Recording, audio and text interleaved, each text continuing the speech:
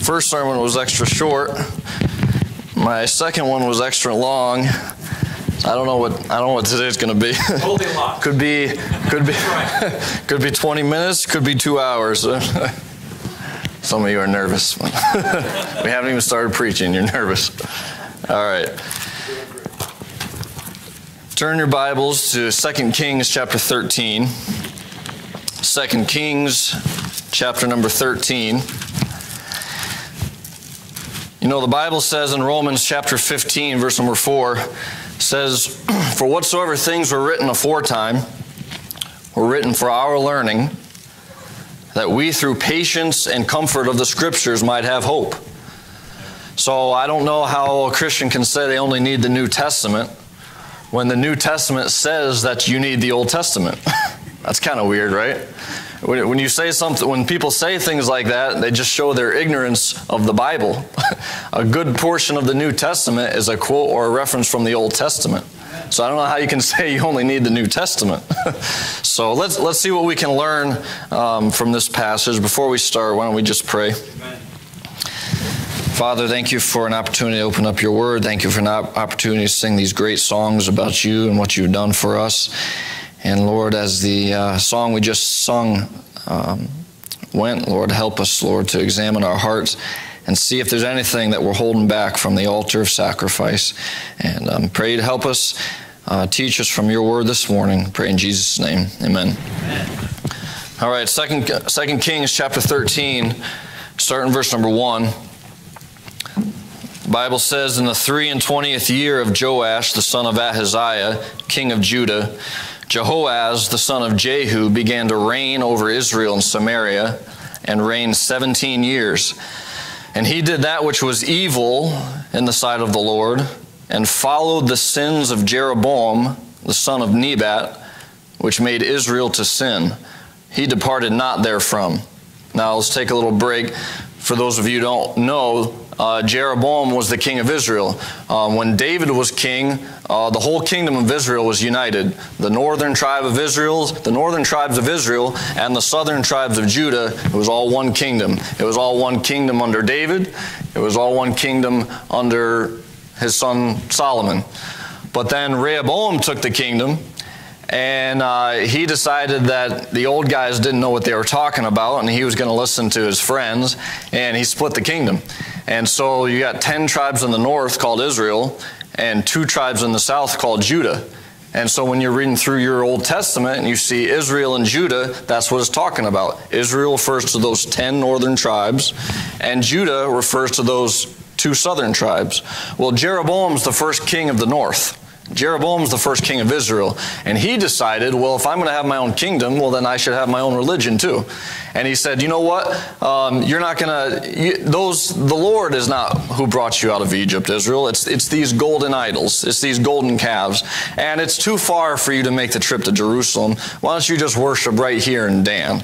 Uh, we got a nice, nice contemporary service for you right here in Dan. Uh, you don't have to make the trip down to Jerusalem. You can just worship any way you please right here in Dan. And so that was the sins of Jeroboam he forsook the Lord and gave him idols instead and said, Well, you don't have to worship God like he tells you to do it. As long as you're sincere, as long as you really believe what you're doing, uh, that, that's fine. And so that was the sins of Jeroboam. And so Jehoahaz here, he says he followed the sins of Jeroboam. That's what he did. He continued in this false worship of God. Verse number three, the Bible says, And the anger of the Lord was kindled against Israel that's someone you don't want angry at you. uh, someone who has the power to create the universe, someone who has the power that holds your very life, that's not the one you want to make angry. And the anger of the Lord was kindled against Israel, and he delivered them into the hand of Hazael, king of Syria, and into the hand of Ben Hadad, the son of Hazael, all their days. And Jehoahaz besought the Lord so Jehoahaz had his own idols, Jehoahaz had his own gods, but when he was in real trouble, he knew he needed a real God. And you can say all religions are, are okay and all, all ways to God are okay. And you can say that when everything's going well, but when you get in real trouble, you're going to need someone who has the real power to answer. And so Jehoahaz ditches the, go- the golden calves, he ditches the idols, and he calls out to the Lord.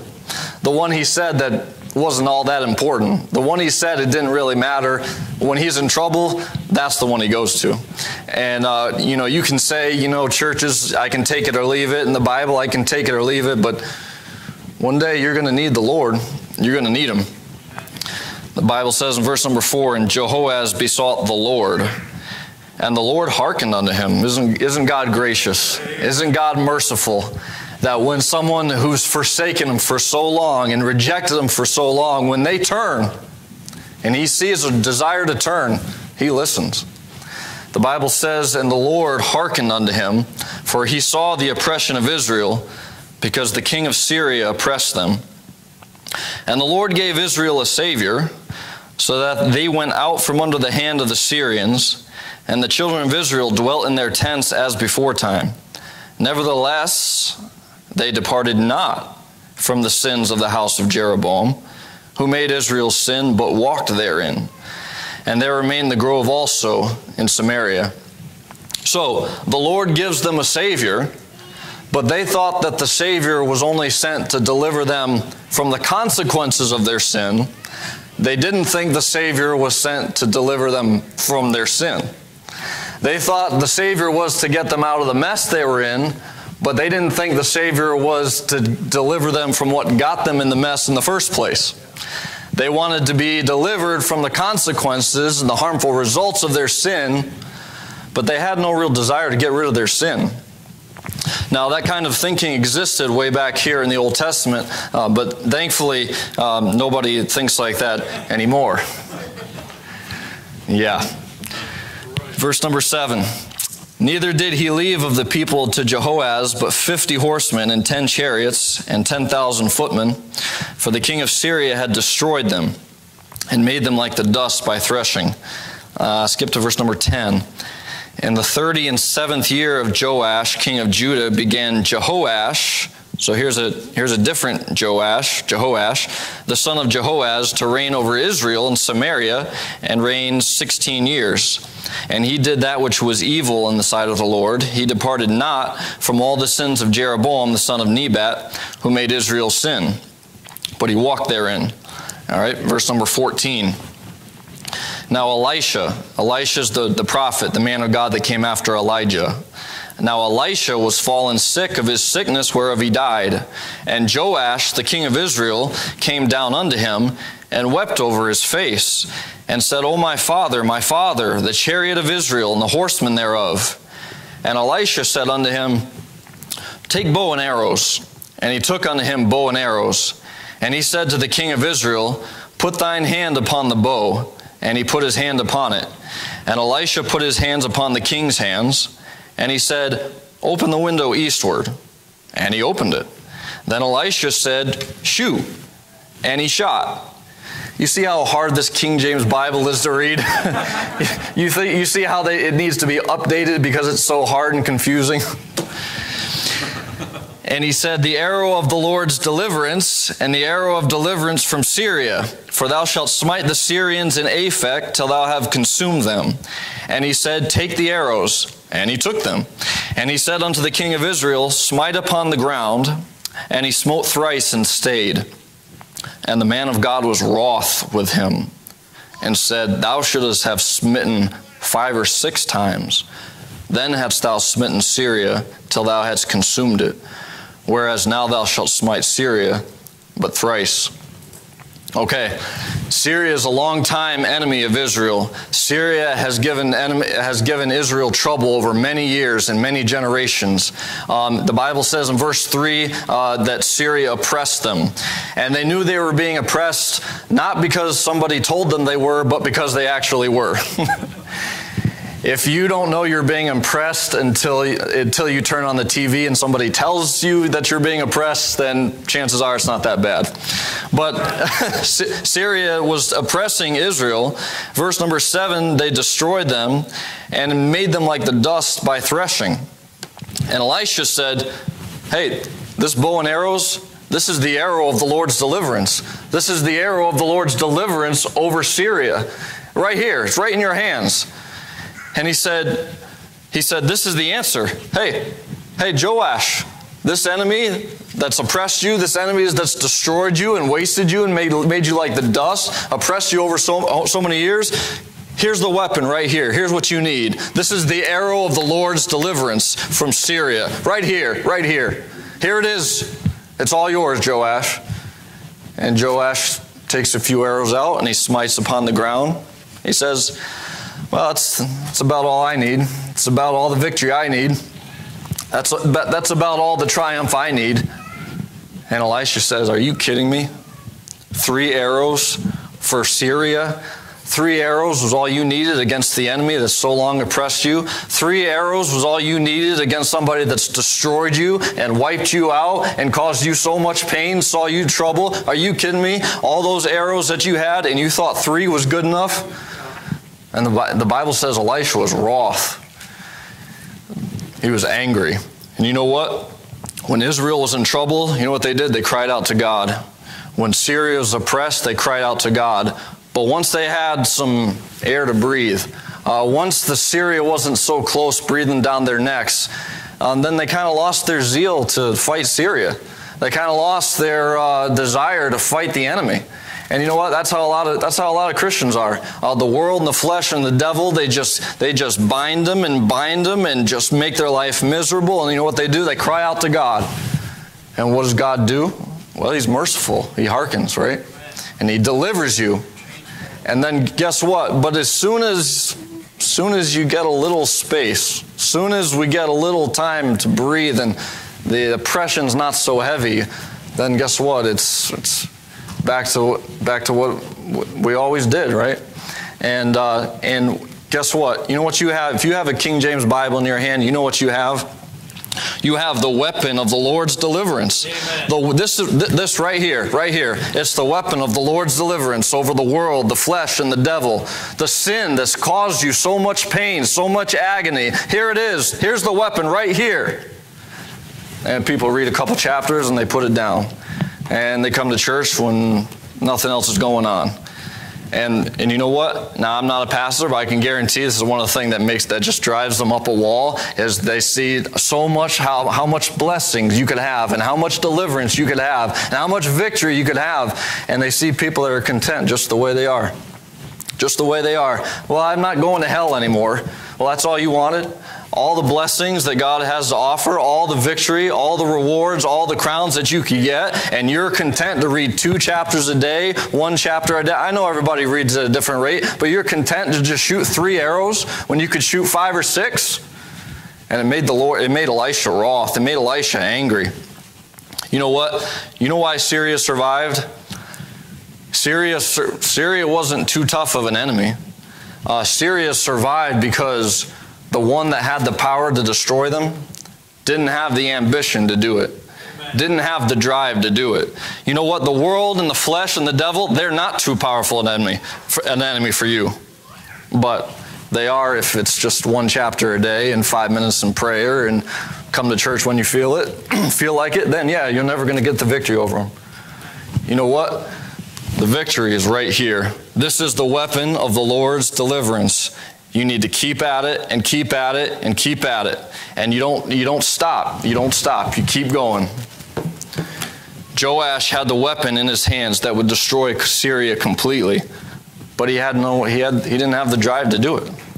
You know what we have? We have the very words of God. The creator of the universe gave us a book. He said, Man shall not live by bread alone, but by every word that proceedeth out of the mouth of the Lord. Everything you need to know is right here, but you've got to have the zeal to use it. You've got to have the ambition to make use of it. The weapon's right here, but you got to use it. You got to use it. You believe that Jesus Christ, do you believe the blood of Jesus Christ is what cleanses you from all sin? If I asked you to give me five verses on it, could you do it? You believe you have eternal security? You believe that no matter what happens, the Lord's going to hold you and not going to let you fall into hell? You believe that? Could you give me three references on it if I asked you? I'm not going to do it. I'm not your judge. But could you do it? How about a verse dealing with fear and anxiety? How about a verse about the proper order in the family, the proper role of the husband, the wife, the children? C- could you do it? It's all right here. The answers are right here. You got to make use of it. You know, in our Bible believing circles, uh, we downplay emotion because most people, most of this modern generation overemphasizes it. Everything's about emotion and how they feel, and, and you know, we, that's wrong. That's wrong. But you know what? We, we go the other way and we downplay it. You know, you're supposed to be in a relationship with the Lord. What kind of a relationship has no emotion behind it? Uh, there's two there's two emotions that you absolutely need to have victory in the Christian life, and it's it's well, there's more than two, but there's a couple that you definitely need, and that's love, and it's hatred. It's love for the Lord, and it's a hatred for everything that'll hurt your walk with the Lord. It's love for God and it's hatred for sin. And um, the more you realize and appreciate what Jesus Christ did on the cross, the more you'll love Him. Uh, Pastor kept saying, You know, I'm glad you're saved. Glad you're saved. You ought to never get over it. You ought to never get over what Jesus Christ did for you on the cross. Hung on that cross, let filthy sinners drive nails into His hands, not because everything, anything He'd ever done, because you needed to be saved, and you needed to be saved, and I need to be saved. And you know what? The more you love, the more you realize and appreciate what the Lord's done for him, the more you'll love him. And the more you realize and appreciate what sin's done to you, the more you'll hate it. And the problem is um, not too much love or hatred. Look at look at look go back, go back with me. It's in this chapter, 2 Kings chapter 13 here. Look at verse number 2. The Bible says, "And he did that which was evil in the sight of the Lord and followed the sins of Jeroboam the son of Nebat." Which made Israel to sin, he departed not therefrom. And the anger of the Lord was kindled against Israel.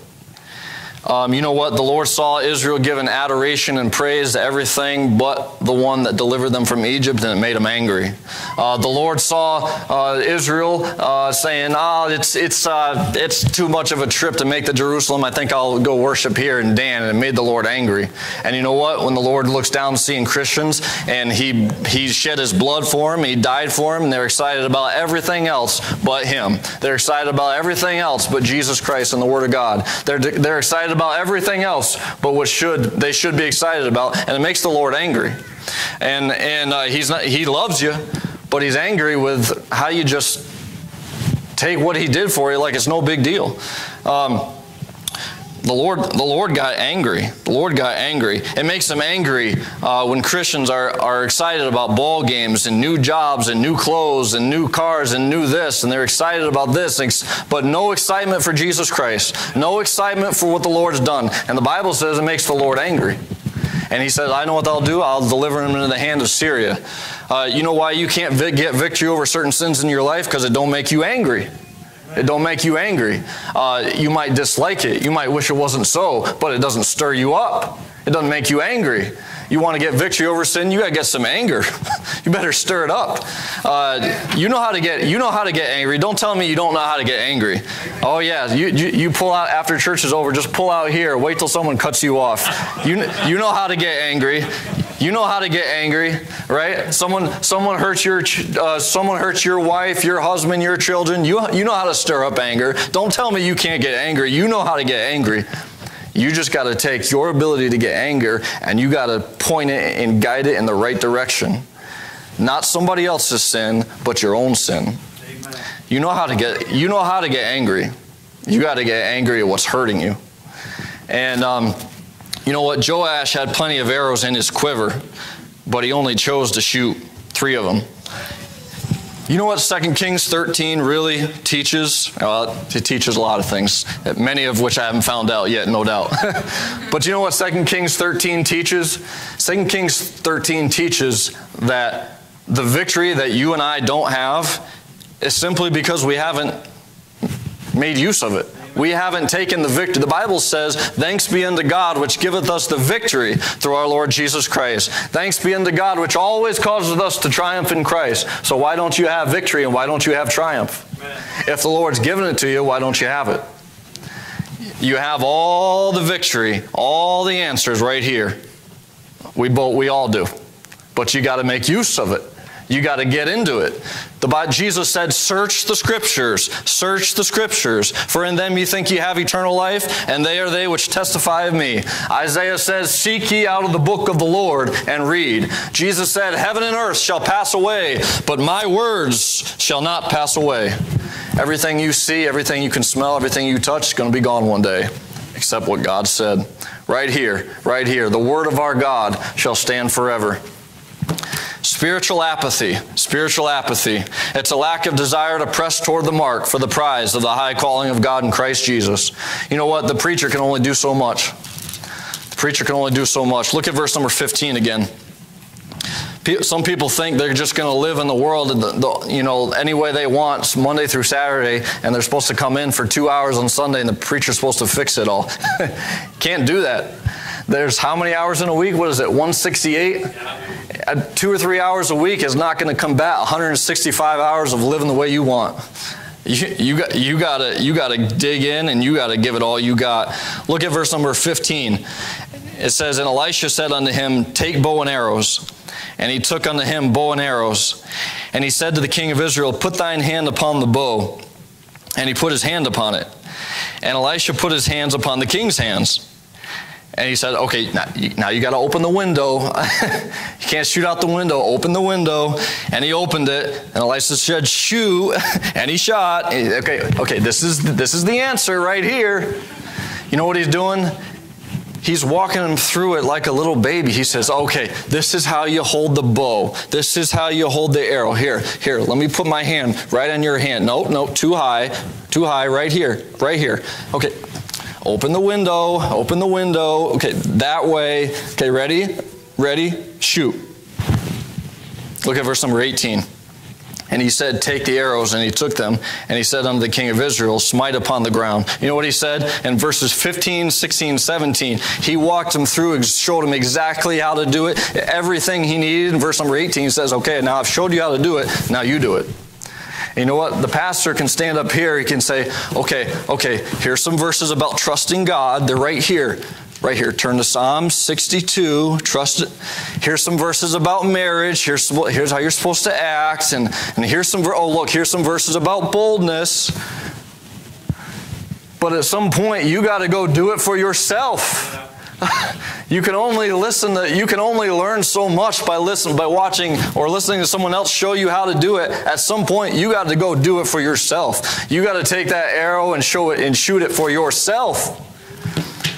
The preacher can only do so much. Look you know what? If you just got saved or you just got into a good church or whatever the case is there's nothing wrong with somebody saying, okay, this is how you hold the arrow and this is how you hold the bow. There's absolutely nothing wrong with that at all. But you've been saved five or six years and you still don't know where Jonah is and you still don't know what the difference between the old and this. Come on, you got to get with it. You got to take the instruction and you got to shoot it for yourself. You got to get with it. You know what? You'll never learn how to do it just by listening someone else do it. You got to do it. How many sermons are you going to hear about prayer before you pray? How many sermons are you going to hear about witnessing before you open your mouth? You got look, the preacher can only walk you through so long. If 10 years down the road you're you shooting, he's still got to say, okay, no, no, put your hand right here. Five years down the road, he's still got to say, no, open the window. Okay, shoot this way. There's nothing wrong if you're just starting out. But if five years, 10 years, 15 years, 20 years down the road, the preacher's going to still have to say, okay, okay, this is how you trust God. Turn to Psalm 60. Come on, guys and girls. We got to get with it. We got to get with it. Uh, turn to Joshua chapter 7. I hope you're excited about your salvation. I hope you're excited about what the Lord did for you. But you know what? Salvation is the beginning, it's not the end. How many times are we out on the preach? How many how many times are we out on the uh, on the street and we, somebody walks by and say, "I'm saved." Yeah. Yeah. That okay. That's that's the beginning. That that's all you. That's as far as you wanted to go. You got born again. So you're telling me you want to stay a baby your whole life? you got born the first time. Didn't you want to grow up? Weren't you excited about getting your license? Weren't you excited about getting your first job and then getting married, whatever the case, or not getting married? But weren't you excited about people get born again and they say, Well, I just want to stay like this my whole life? That's kind of weird. Joshua chapter 7. Joshua chapter 7. read a few verses here. Verse number 1. But the children of Israel committed a trespass in the accursed thing. For Achan, the son of Carmi, the son of Zabdi, the son of Zerah of the tribe of Judah, took of the accursed thing. And the anger of the Lord was, oh, here's the Lord's anger again, it was kindled against the children of Israel. And Joshua sent men from Jericho to Ai, which is beside Bethaven, on the east side of Bethel, and spake unto them, saying, Go up and view the country. And the men went up and viewed Ai. And they returned to Joshua and said unto him, Let not all the people go up, but let about two or three thousand men go up and smite Ai. And make not all the people, people labor thither for they are but few. You know what? You start getting a little bit of victory and you start getting overconfident. the Bible says without the Lord we can do nothing. Nothing means nothing. you need the Lord for everything. Verse number four So there went up thither of the people about 3,000 men, and they fled before the men of Ai. And the men of Ai smote of them about thirty and six men, for they chased them from before the gate even unto Shebarim, and smote them in the going down. Wherefore the hearts of the people melted and became as water. And Joshua rent his clothes and fell to the earth upon his face before the ark of the Lord until the eventide, he and the elders of Israel, and put dust upon their heads. And Joshua said, Alas, O Lord God, wherefore hast thou at all brought this people over Jordan to deliver us into the hand of the Amorites to destroy us? Would to God we had been content and dwelt on the other side Jordan. O Lord, what shall I say when Israel turneth their backs before their enemies? For the Canaanites and all the inhabitants of the land shall hear of it, and shall envire us round, cut off our name from the earth. And what wilt thou do unto thy great name? And the Lord said unto Joshua, Get thee up. Wherefore liest thou thus upon thy face? Joshua, why are you lying down? Get up, get up. Verse 11 Israel has sinned. Don't you know the problem, Joshua? It's sin. Israel has sinned, and they have also transgressed my covenant, which I commanded them. For they have even taken of the accursed thing, and have also stolen, and dissembled also, and they have put it even among their own stuff. Therefore the children of Israel could not stand before their enemies, but turned their backs before their enemies, because they were accursed. Neither will I be with you any more except ye destroy the accursed from among you. So you know what Joshua, you know what Joshua said in verse uh, verse number seven, he said, Would to God we had been content and dwelt on the other side Jordan. You know what he said? He said, We should have just we should have just been satisfied with getting out of Egypt. We should never have tried to get into Canaan. We should have just been satisfied with what the Lord did for us in Egypt. We should have never tried to cross Jordan because all it's caused is trouble. All this, all, I mean, we here. I mean, we're we we. What do you mean? Didn't you beat Jericho? Didn't he? The Lord knocked down those walls, and now you run into a little trouble, and now you want to quit. Now you wish you never crossed Jordan. And uh, that's what a lot of Christians are like. They're, they should they, they try to serve the Lord, and just just a little little trouble, and by and by they are offended. And they said, "Oh, we should have just been satisfied with being saved. Oh, we should have never should have never tried to serve the Lord. Should have never tried to stretched out, done anything for Him." And the Bible says, uh, the, Lord, the Lord said, Joshua. What are you doing lying down? What are you having the pity party? Get up, get up. The problem's sin, Joshua. He says, You don't get rid of that sin, I'm not, not going to be with you anymore. You're not taking, you're not conquering any more land. You're not taking any more cities. I'm not going to be with you. If you want to go out there, you're going to go out there by yourself because I'm not going with you. And uh, you know what, what a lot of people do? A lot of people want to go on for the Lord, but they don't want to get the sin out of their life.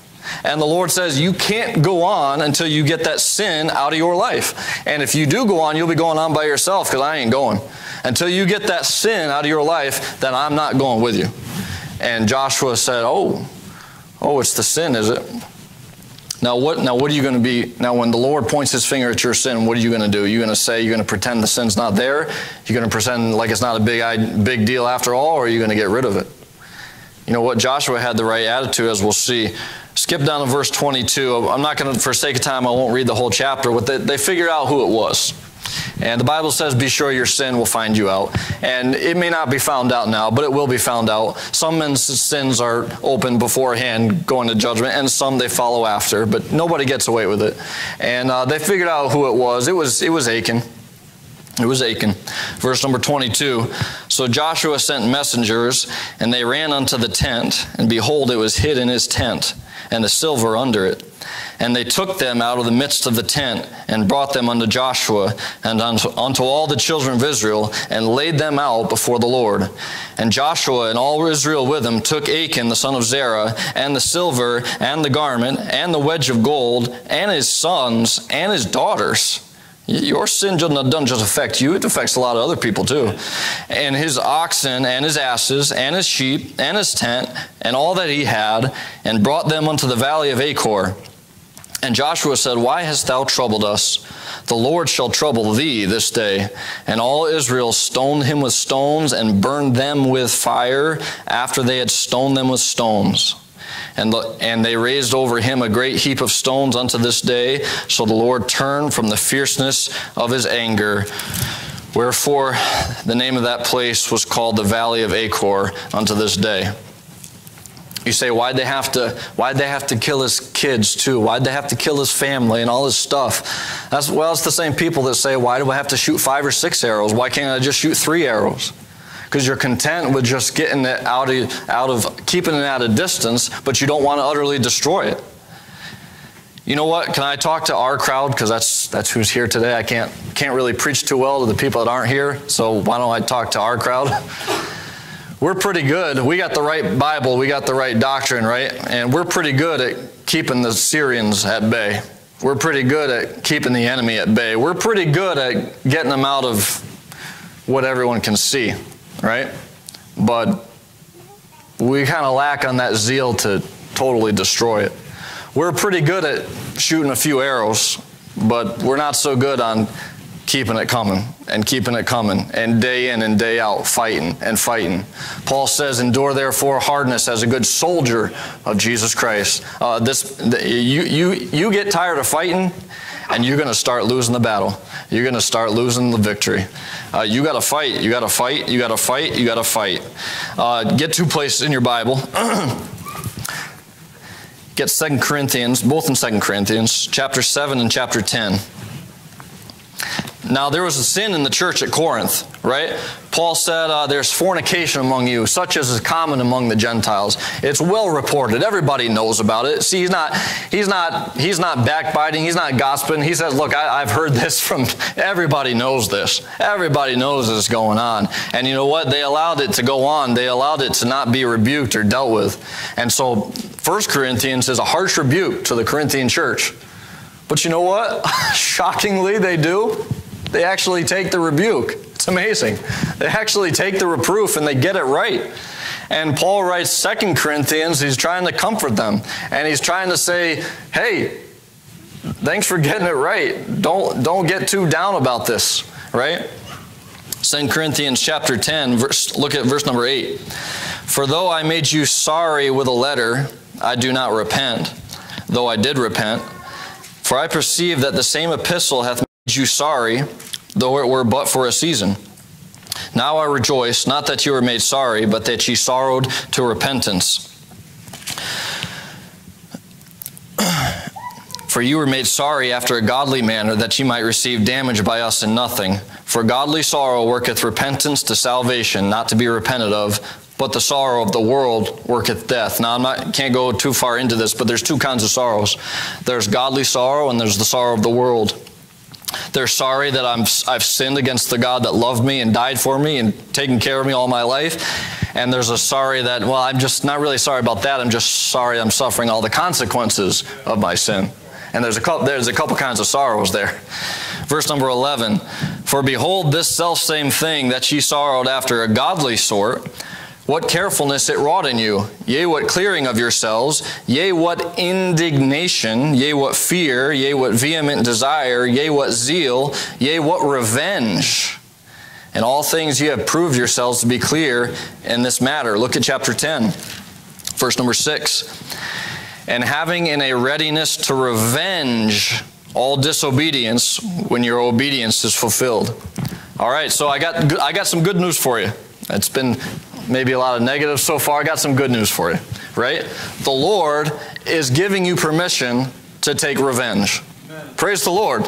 Right? Now, isn't there a lot of people that you could think that you want to take vengeance on, get revenge on? Uh, yeah, two of us. right? I, I can think of some people I'd like to take revenge on, right? Get some vengeance on. You know what? The Lord said in Romans 12, you just, you just leave all that to me. I'll, I'll take, vengeance is mine. I will repay, saith the Lord. He says, I'll give you something you can take vengeance on, though. You want to, you want to get some revenge? You want to get some vengeance? Take it out on your own disobedience. the Bible says in 2 Corinthians says they had a readiness to a readiness to revenge all disobedience. You know what? You know what? You know what? You know why you take revenge? You you you know why you want revenge? You want revenge because someone's hurt you. You want revenge because someone's done you wrong. You know what the key to wanting vengeance and getting angry and getting stirred up is you got to see what sin's done for it, done to you and done to your family and done to your country and done to the people you care about. You know what sin does? Sin sends people to hell. They burn forever. I don't enjoy saying that, but that's a fact of the Bible. Sin sends people to hell. Sin ruins marriages and relationships and friendships. Uh, sin destroys lives and testimonies. Sin robs you of your peace. Sin robs you of your joy. Sin robs you of a sound mind. It robs you of purpose to your life. Don't you want to take vengeance on something like that? Don't you want to get some, work up some indignation, some revenge, and some anger towards that? You know what? If that doesn't get you stirred up, I'm going to be honest with you, if that doesn't get you stirred up, there's nothing I can say it's going to help. Honestly, if that doesn't get you stirred up, then what, you're not gonna, why would you listen to me? If that won't get you stirred up, there's nothing I can say that will. You know what? You gotta you gotta get alone with your heart, you gotta get alone with God and say, God, what is wrong with my heart? I get angry at everything that doesn't matter in eternity, and the things that actually do matter, I can't get stirred up about. I got to get fix my heart. There's so many people we could look at in this world and say they need vengeance and they need vengeance. And that's absolutely true, and the Lord will take care of it. The Lord said, What are you worried about that for? That's my job.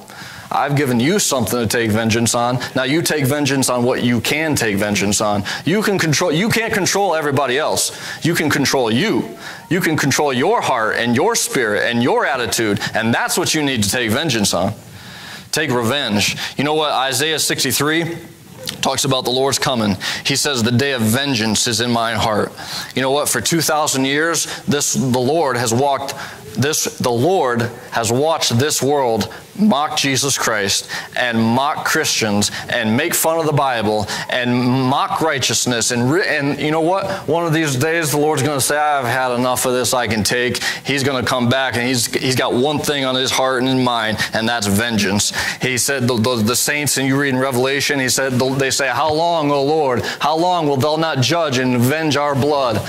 Avenge our souls of everything that's happened. Lord says, Okay, I'm ready. Now's the time. I'm going to take vengeance. He says, The day of vengeance is in my heart. When the Lord comes back, He's coming back in indignation and wrath and fury.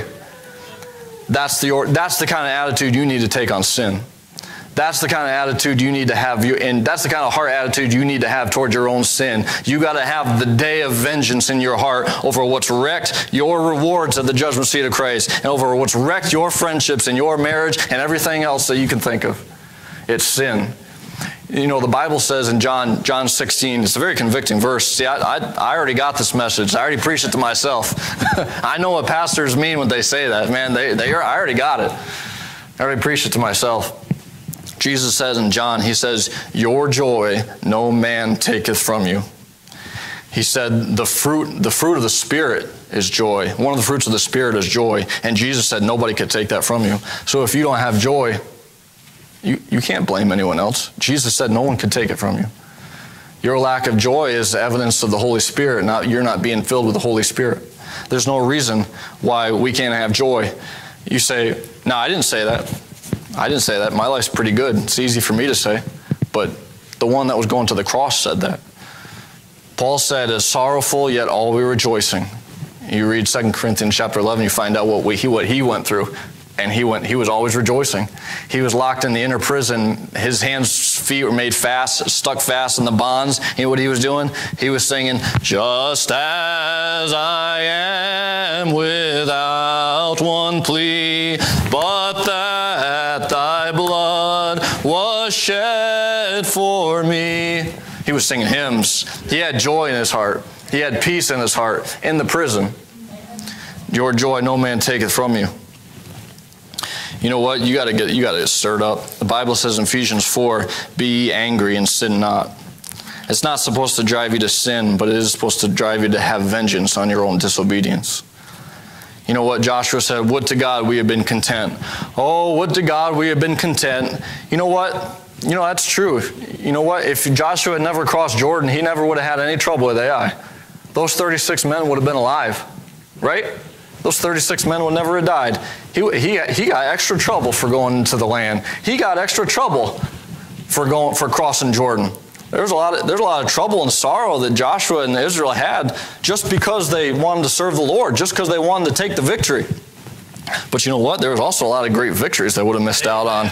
You know what? Those walls of Jericho never would have fallen down. Uh, uh, that, that woman, uh, Rahab, that harlot, she got saved, she got delivered. She never would have been no mention of her you know what? You can sit back and just say, I don't want to go on because there's trouble. And you know what? You'll, you'll miss out on some trouble, I'll be honest with you. You'll miss out on some trouble, some heartache, but you'll miss out on a lot of great victories too. You'll miss out on a lot of great comfort and a lot of great peace. There's peace that the Lord gives you going through trials that you can't get if you didn't go through them. Paul said in 2 Corinthians chapter 1, verse number 7, he says, And our hope of you is steadfast, knowing that as ye are partakers of the sufferings, so shall ye be also of the consolation. Paul said, I'm, I'm comforted, I'm excited, because I know, I know that with sufferings comes consolation. And since you've suffered, you're also going to get the consolation. And you know what? You, you suffer for the cause of Christ, for the Word of God, there's be, there going to be some sufferings, but there'll also be some great consolation no sufferings, no consolation. You know who thinks the Christian life is boring? Somebody who just sits back and is content to get out of Egypt, but they don't want to cross into Jordan. Somebody who wants to just do the necessary things to get out of hell. And you know what? You know what a lot of people want. You know what most people want. They they don't want to be oppressed by the enemy. They, they, but they don't want the full victory either. They, they, they don't want to be, they don't want to be, here, here, here it is, here it is. You know what? I'll give it to you plain. You know what it is? They don't want to be a drunk on the street, right? They don't want to be a bum living under the bridge. But they think a little alcohol is okay, right? Uh, they, they don't, they don't want to be, you, you know, totally overrun by sin but they, they, they're really not all against it either. As long as it's not making their life uncomfortable, as long as, long as they can live the life they want to live, they're, they're okay with it. That's too many, that's too many of our attitudes towards sin. You know what? Turn to, to uh, let's turn to one more passage. Proverbs chapter 24. Proverbs chapter 24.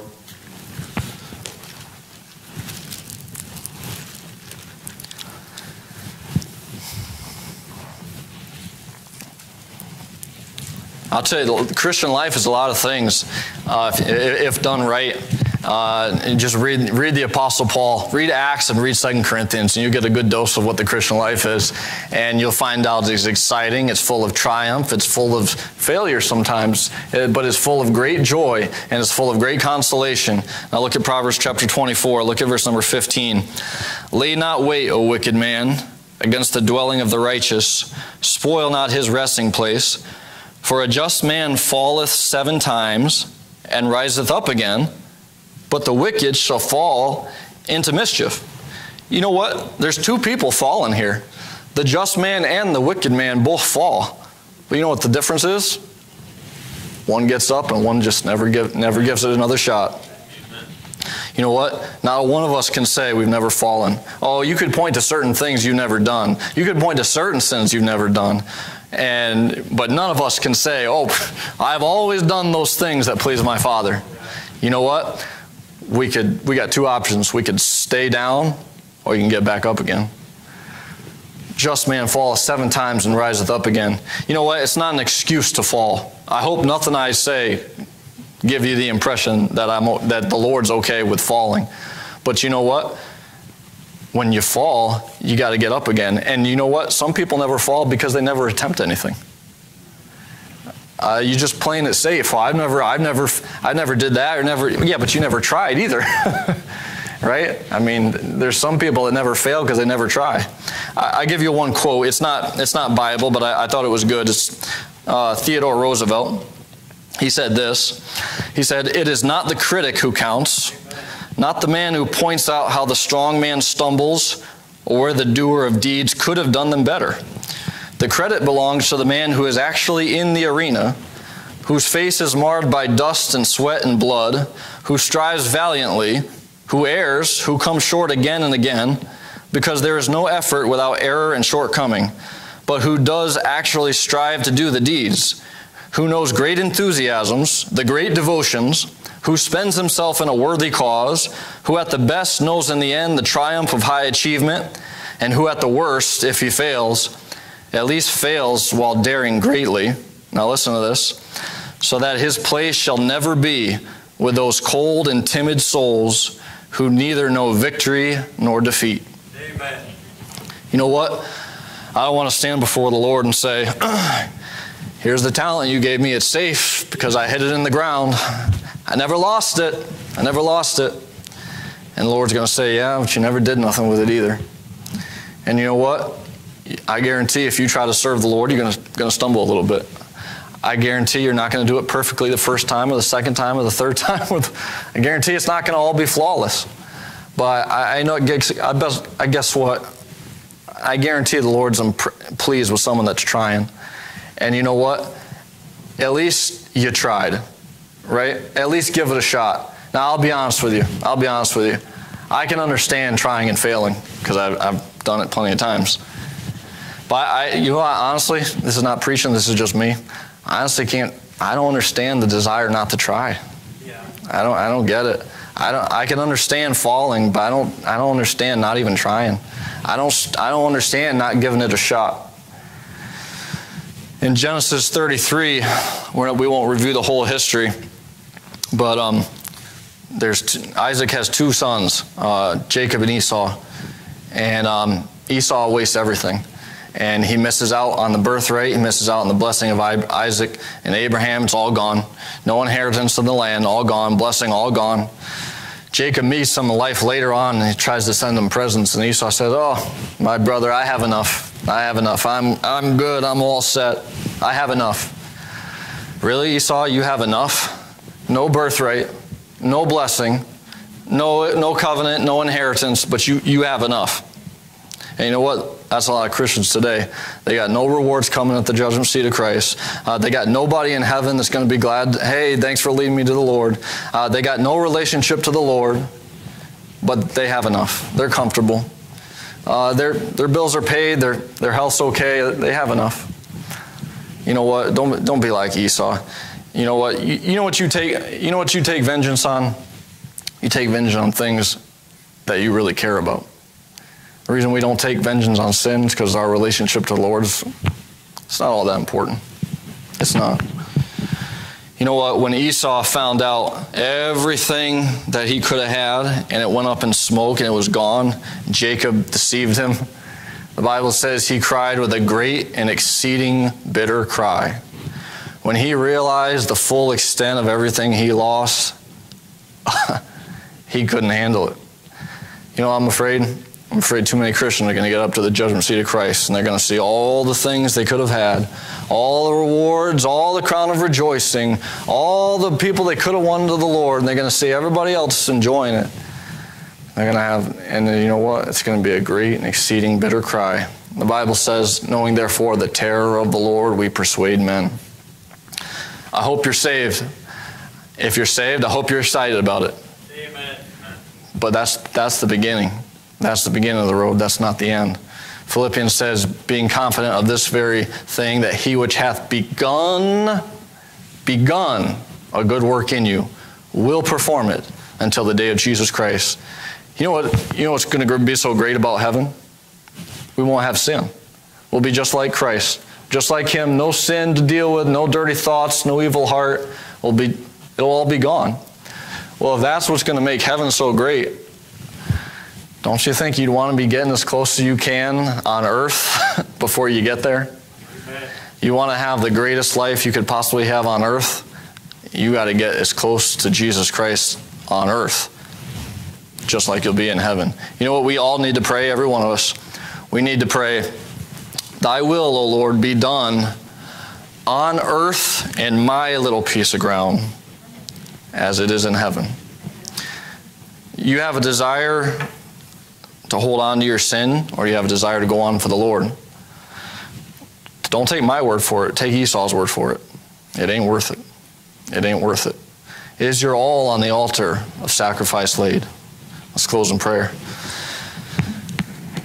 Father, thank you for an opportunity to open up your word. Thank you for what great treasure and truth is in it. Lord, for each one of us, myself included, may, may we take to heart the things that you've shown us in your precious Bible. And I pray in Jesus' name, amen. Amen. You know, one of the things that helps you keep up the, uh, keep up the pace, never get over the fact that Jesus died to save you. Always remember how good it is to be saved. Well, I, I like that. You know, uh, again, boy, I don't want to preach that again. That was good. Quit too early. One of the, uh, the really the value of that Old Testament. There's the example. You realize that uh, Joash, if he had been reading in his scriptures there and been listening to the to the tales of Joshua, Joshua came along one time and he holds out his spear towards Ai. Next chapter there, he holds that spear out. He didn't let that spear down until the city was captured, till it was all over. Moses goes out there and he sends him out. He sits on a rock. Uh, He's standing there with his hands up. They said, as long as they're going to get victory, as long as his hands are up. When he gets tired, he gets help, other people helping. Everybody get tired. I'm tired. Thanks for the help. Amen. Makes victory that sweet to know that it wasn't alone. You get to share the victory with others. Let's stand. Maybe the Lord dealt with your heart about something. Maybe it's something that you really need to, to come to the Lord about. And uh,